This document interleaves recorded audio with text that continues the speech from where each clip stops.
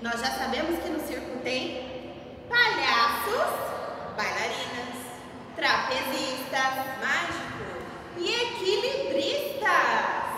E hoje nós vamos brincar de equilibristas. Como vamos fazer, Tia Fran?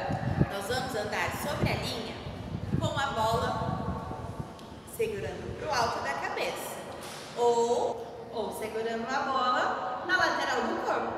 Não pode deixar a bola cair. Ser feita com fita adesiva ou colocar um barbante no chão só para demarcar onde o bebê vai andar. Vamos lá?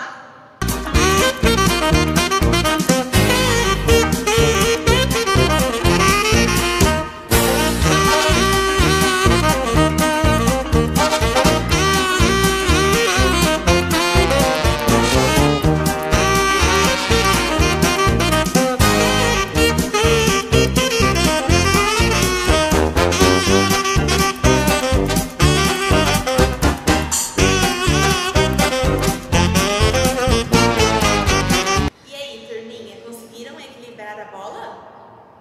Ah, não esqueçam de tirar uma foto da atividade e nos enviar por e-mail. Até a próxima. Tchau! Tchau.